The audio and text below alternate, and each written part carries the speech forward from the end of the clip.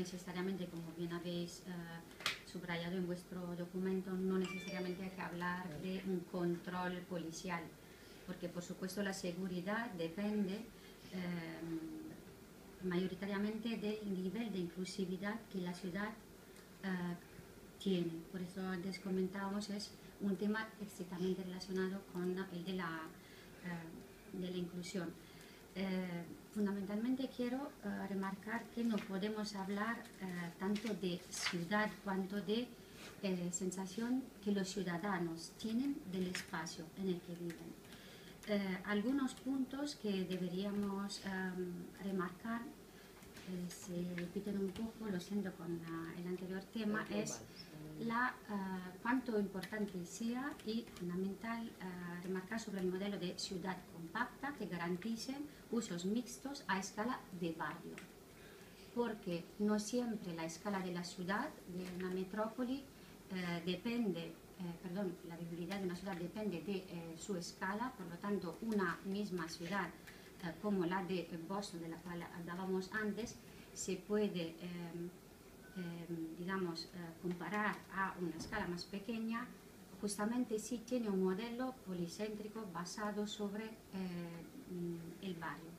Por lo tanto, eh, fundamental poder garantizar los servicios mixtos en los barrios y servicios de proximidad. ese tema de los usos mixtos está, por supuesto, exactamente relacionado con el la idea de proximidad y de los desplazamientos, que es uno de los puntos sobre los cuales también nosotros hacéis mucho hincapié, el 75% de los desplazamientos serán eh, andando en transporte público.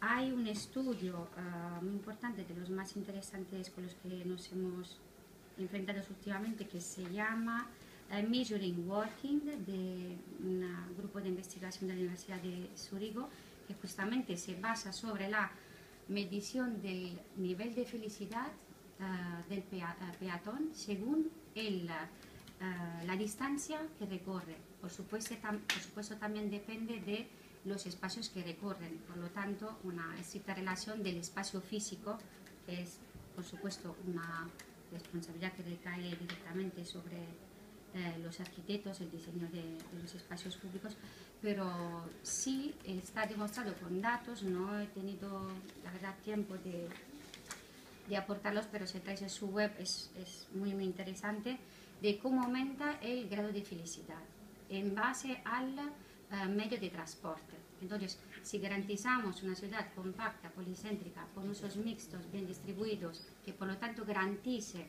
una posibilidad de desplazarse de forma peatonal o en bicicleta, por supuesto, según el tamaño de, la ciudad es una garantía de poder aumentar también el nivel de eh,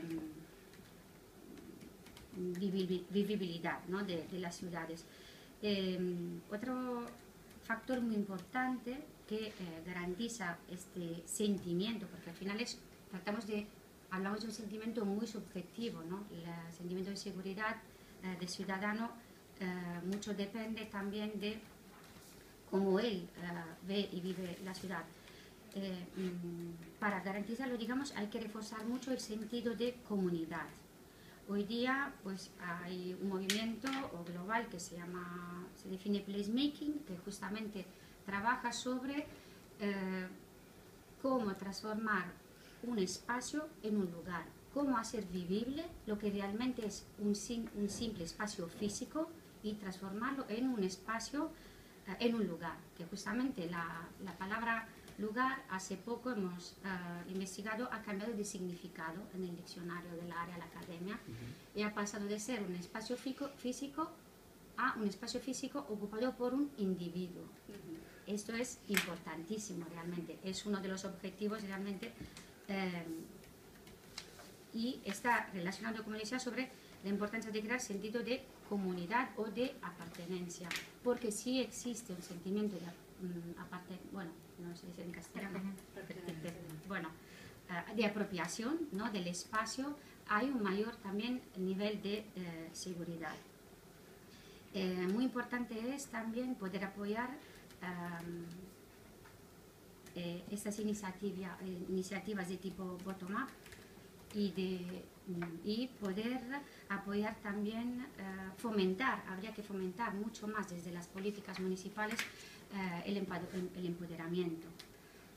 la verdad que en Zaragoza hay muy, buenos ejemplos, tenemos una ciudad que está abriendo el camino, pero a nivel, por ejemplo, nacional, tenemos muchos compañeros, colectivos que están trabajando en eh, caminos muy parecidos a los nuestros y eh, hay muchos municipios donde no se facilitan estos caminos. Podemos hacer, por ejemplo, el caso de Madrid, donde por lo general no se apoyan estos, em, que es fundamental, porque cuando una iniciativa realmente nace de un colectivo, de una asociación vecinal, garantiza este sentimiento de comunidad y de pertenencia eh, del cual hablábamos antes, que es fundamental para garantizar un nivel de seguridad.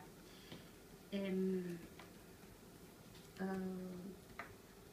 otro factor muy importante es garantizar la accesibilidad eh, a todos, por lo tanto, para reducir el, eh, riesgo, los factores de riesgo y de, vulnerabilidad y para evitar que los individuos queden como desvinculados del grupo. Últimamente ha salido un estudio que habla de la diferencia que hay entre la integración y la inclusión. tenemos un factor de exclusión, el factor de marginalidad, el factor de integración y el factor de inclusión.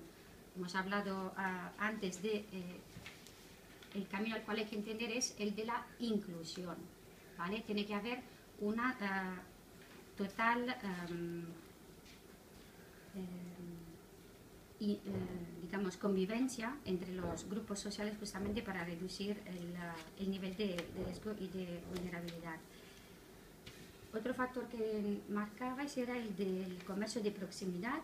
Eh, bueno, según Jacobs era fundamental porque el comercio de, barrio realmente eh, ofrecen como esta, estos ojos, decía ella, ahora no recuerdo exactamente la frase, los ojos que vigilan Mm, el comercio de barrio, la escala de, proximidad, eh, nos ofrecen también, eh, o sea, garantizan realmente también eh, como esta convivencia entre extraños, porque realmente al, digamos, son, son espacios donde incluso gente que no se conoce entre sí consigue como crear como nuevos pequeños grupos, nuevos pequeños nuevas pequeñas comunidades. Por lo tanto, también es importante eh, garantizar, por ejemplo, a lo largo de los recorridos, esto va muy relacionado con el, la, idea del desplazamiento y de la, escala de proximidad,